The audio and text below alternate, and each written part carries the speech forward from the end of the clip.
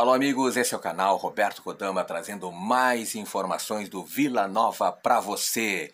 E nesse vídeo vamos conferir os destaques do Vila Nova na vitória de virada frente a Chapecoense. Mas antes eu peço a você, alô torcedor do Tigre, te inscreve no canal. Te inscreve no canal porque aqui no canal Roberto Kodama eu sempre trago informações quentíssimas do Vila Nova para você. O primeiro destaque foi o zagueiro Rafael Donato.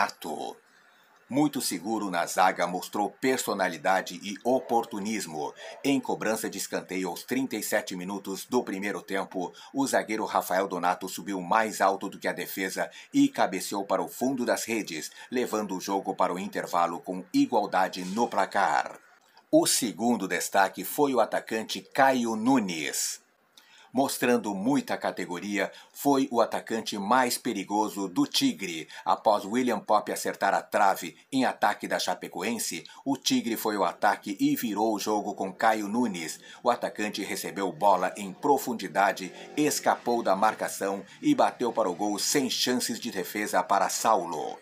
Tá aí, estes foram os destaques do Vila Nova na boa vitória de virada sobre a Chapecoense por 2 a 1. Se você gostou do vídeo, dá joinha, dá joinha que sempre apoia o canal e o mais importante, alô torcedor do Tigre, te inscreve no canal, te inscreve no canal, porque aqui no canal Roberto Kodama eu sempre trago notícias quentíssimas do Vila Nova para você. Muito obrigado, beijo no coração e fique com Deus.